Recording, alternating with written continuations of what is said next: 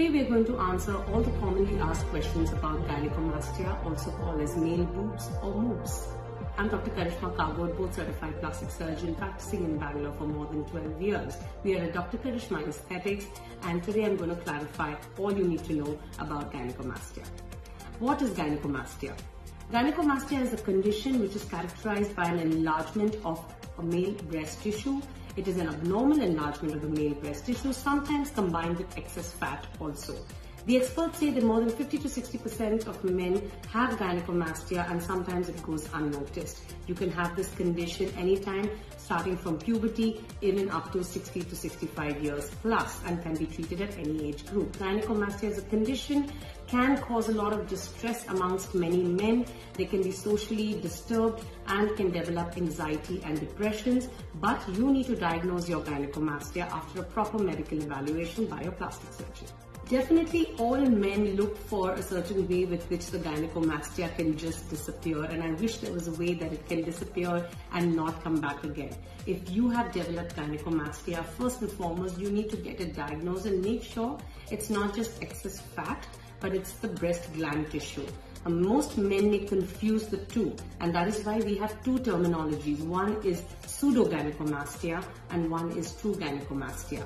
You have a pseudogynecomastia and you may think you have enlarged breast or chest, but that could be just excess fat. Now, if you are on the heavier weight, high BMI, and or you have recently gained a lot of excess weight, sometimes it just could be fat accumulation underneath the chest, and that is what we call pseudogynecomastia.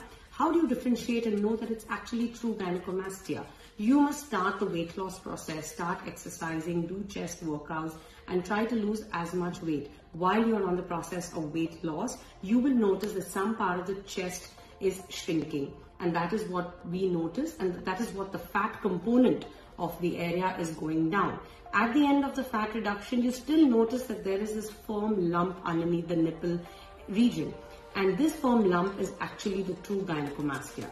So once you've lost weight, if you feel the chest have become absolutely flat, then possibly it was just excess fat and not a true gynecomastia.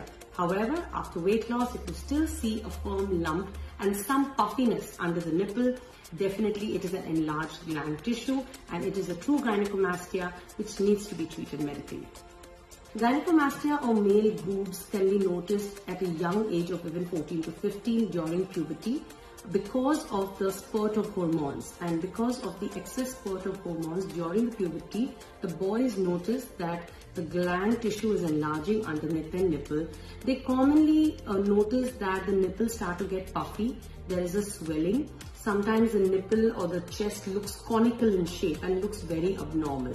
For young boys at the age of 14 to 15, it is difficult to do the surgery, so we advise them to wait till they're at least 17 to 18 years of age.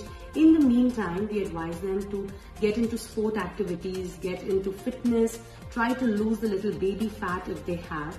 And many times we see that the chest gets much better because of the weight loss, even the excess fat in the chest tends to resolve over a period of time. While they're 17, 18 and they're joining college, of course, the boys are really conscious and uh, you know they don't want to wear tight fitting clothes any tight t-shirts look awkward the nipples may be pointing out looking puffy they may get socially embarrassed and you know sometimes they get teased by their friends and peers in that case you can offer a gynecomastia surgery at the age of 17 to 18 uh, with the consent of your uh, parents uh, or your adults or your legal guardians well, uh, gynecomastia can be treated not just at the young age of 17, 18. It can be treated even if you're 50 plus or 60 plus. Up to the age of 70 to 75, you can treat gynecomastia. So it is a treatable condition. Gynecomastia is seen in adults, not only in children. Some men notice it later during adulthood. A few boys notice it earlier in life. So anything from 17 to 18 years to above 65 can be treated. If you're at an older age group, you need to be also a little medically fit to undergo the surgery. And it's a very small surgery. So if you're reasonably medically fit, mentally positive and motivated, then there is no age limit for a gynecomastia surgery.